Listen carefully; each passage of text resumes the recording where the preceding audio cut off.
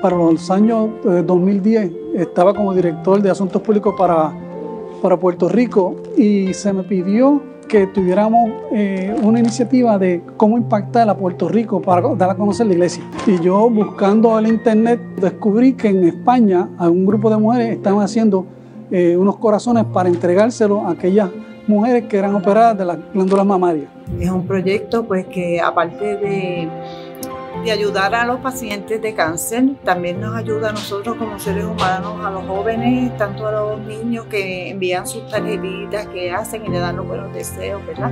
A todos los pacientes y nos ayuda como Jesucristo haría en un momento así, ¿verdad? Hace 10 años la Iglesia de Jesucristo de los Santos de los Últimos Días se nos acercan con este hermoso detalle para poder ayudar a los pacientes que han sido eh, operados y tienen mastectomía.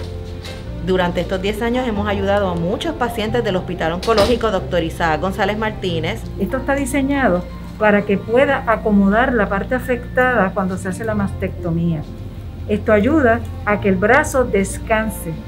Con estas almohaditas este, hemos ayudado ¿verdad? a muchos pacientes. Es bonito ver cuando entramos al área de quimioterapia, cuando los llevamos al centro de rehabilitación, con la alegría que los pacientes reciben eh, el obsequio las telas tan bonitas, los, mensajes tan hermosos, ver la cara tan contenta que, ellos ponen, eh, eh, la sonrisa. Así que le damos las gracias a la iglesia por este detalle tan bonito, por siempre pensar en nosotros. Así que muchas gracias.